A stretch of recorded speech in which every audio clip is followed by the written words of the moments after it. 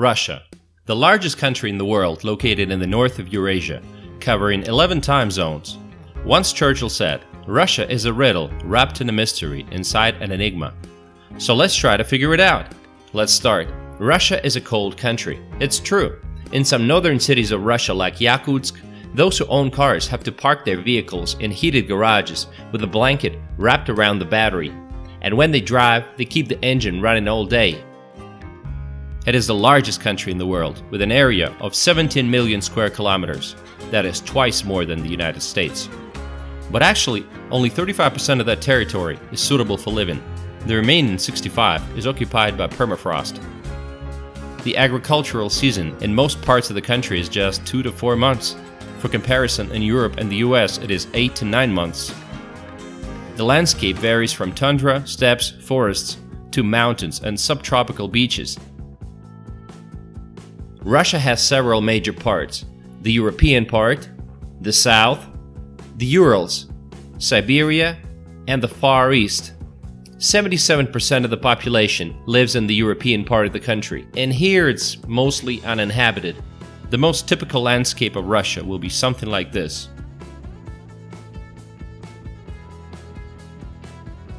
For 2016, according to the International Monetary Fund, Russia ranks 12th in terms of nominal GDP. The economy is predominantly based on raw materials, which comes as no surprise knowing the enormous natural reserves of Russia. First place in the world in natural gas and forest reserves. Sixth place in oil reserves. Second place in coal reserves, and so much more. The World Bank estimates the value of all Russia's natural resources at $75 trillion. Impressive, right? Since Russia was so lucky with natural resources, it would seem logical that the average salary in the country should be no less than it is in Europe, but that's not the case.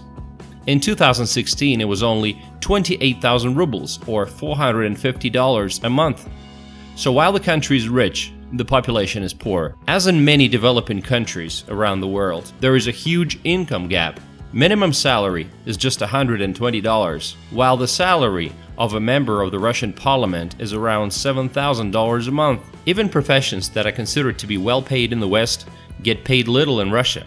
The average salary of a doctor is just $700 a month and $450 for a nurse. The state controls 70% of the economy. Therefore, the largest companies in Russia are state-owned raw materials companies like Gazprom and Rosneft, or monopolies like Russian Railroad and the Russian Post. As the case in the rest of the world, State-owned companies are not exactly examples of innovations in modern technologies. But what about private business? In Russia, there are some successful private companies such as Magnit, supermarket chain, Yandex, internet company, Tinkoff, online bank, Kaspersky Lab, VK Social Network, and others.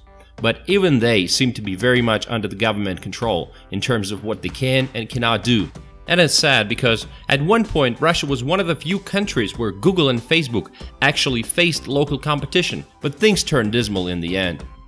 On the bright side, many services in Russia cost less than they do in the West. Taxi prices, the internet, electricity and cell communications well below their Western counterparts. What then prevents Russia from taking a leading role in the world? There are a lot of reasons, but it's enough to mention corruption and endless bureaucracy, and you get the picture. A hundred years ago, 85% of Russia's population was rural. Today, three quarters live in the cities. Let's take a look at the biggest. Moscow. Moscow is the dream city for the majority of Russians. Salaries here are 3 to 5 times higher than in the rest of the country. The Moscow subway serves 9 million passengers a day. This is more than the subways of New York and London combined. Everybody's running and no one speaks English. That's how foreigners describe the city. In 2016, Moscow was the third city in the world with the largest number of billionaires, 60 people to be exact, just right after New York and Hong Kong. St. Petersburg, one of the most beautiful cities in Russia, North Venice, famous for its drawbridges and white nights. Foreigners adore St. Pete and say it reminds them of Paris and Rome. On Nevsky Prospect, there is a higher chance of hearing foreign speech than Russian. Novosibirsk, the third largest city. It's a city in Siberia and the scientific capital of Russia. It's famous for its Akademgorodok, which accommodates several research institutions, one of the greenest cities in Russia. Yekaterinburg is a phenomenal place with a deep history and a rich culture, the gateway between Europe and Asia, the hometown of Russia's first president, the world leader in consumption of mayonnaise according to the Guinness Book of World Records. But seriously, Yekaterinburg is one of the most developed post-industrial areas in the country, which has its valuable natural and intellectual resources. Kazan, the capital of Tatarstan, the largest port on the bank of the Volga. It has two cultures, Tatar and Russian, peacefully coexisting. The main attraction is, of course, the Kazan Kremlin. And the fastest growing city in Russia, Krasnodar. Many residents of the northern regions move here for a warmer climate. It's near the mountains and only two hour drive from the Black Sea coast. Villages in Russia are in a deplorable state. The rural population is shrinking everywhere. People are living for larger cities. Many villages have been abandoned altogether. Sadly, there is no place for them in modern Russia reality. In most villages today, the hope for a future is slowly disappearing, and with that disappears a very important part of the Russian culture.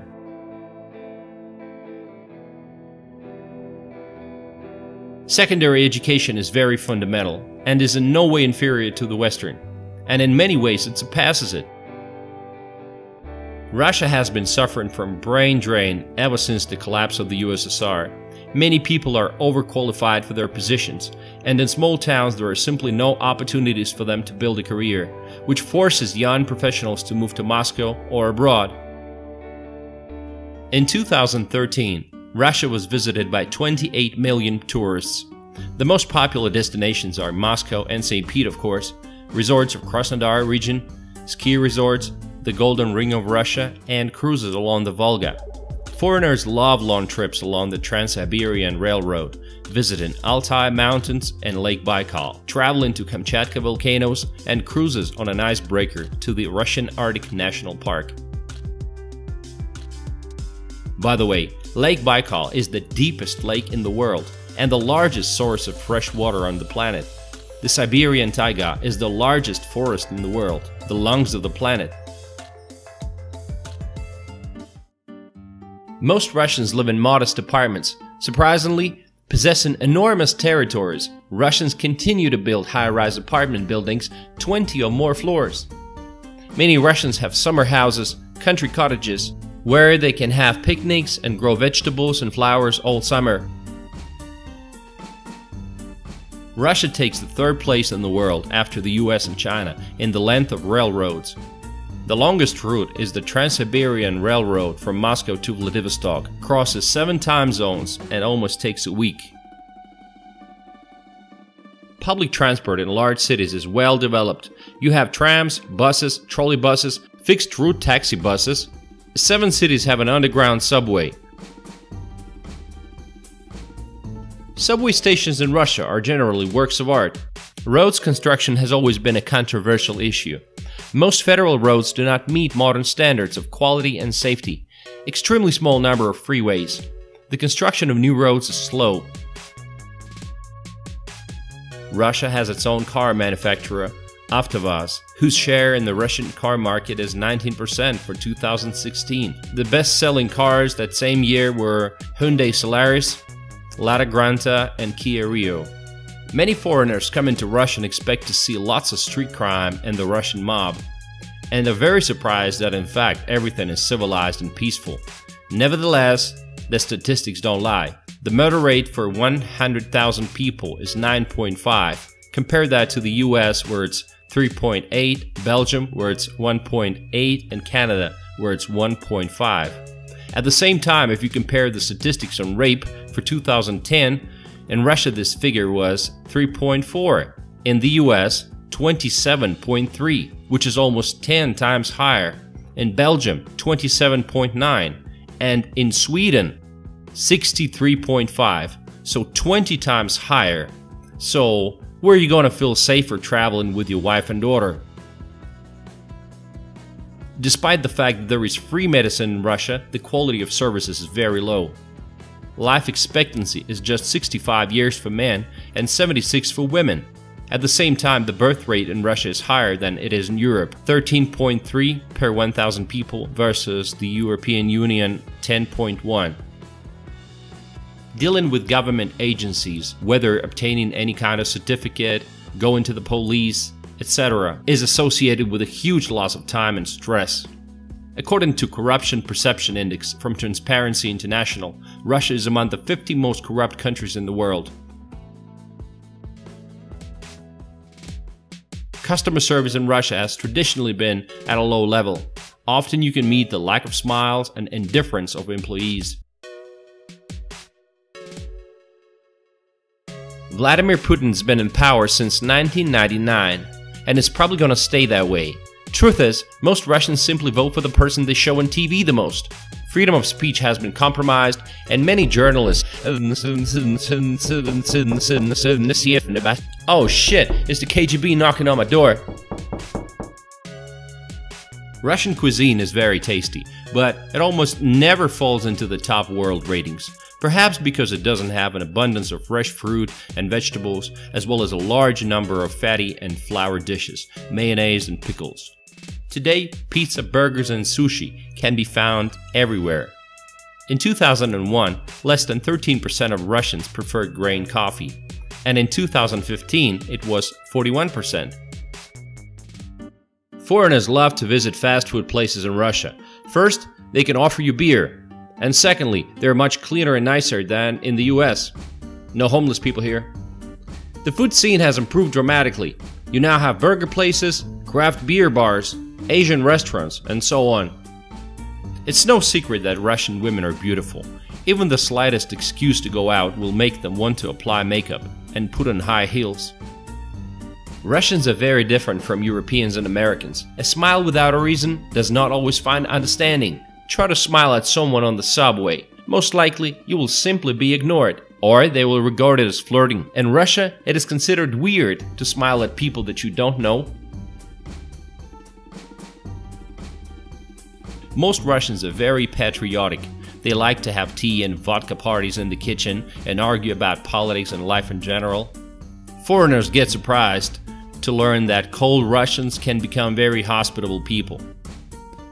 Russian is the second most popular language on the internet after English, and one of the six official languages of the United Nations. But do Russians speak English? Actually, let's find out. Excuse me, do you guys speak English? No? Okay. Hey, excuse me, guys. Do you speak English? No? Okay. Hey, excuse me, do you speak English? No? Okay. well, apparently not so many. In Russia, sports are very popular. Football indisputably holds a leading position. Also popular are hockey, basketball, volleyball, and boxing. Russia is known throughout the world for its achievements in gymnastics and figure skating, in recent years, the popularity of a healthy lifestyle is becoming noticeable. In large cities, many fitness centers have opened up, also lots of ski resorts. In winter, such unusual sports are popular like rally on ice, winter kiting, and even winter cycling. Russian is the second most popular language on the internet after English, and one of the six official languages of the United Nations. Russians have many unique traditions such as visiting bathhouses or banyas, swimming in the ice hole in a 20 degree below temperature, winter fishing, hunting, long celebrations, and saying long toasts. Russia is a wonderful country. Beautiful nature, wonderful people, and a harsh climate with endless territory. I think Russia has great potential and many opportunities. And what do you think about Russia?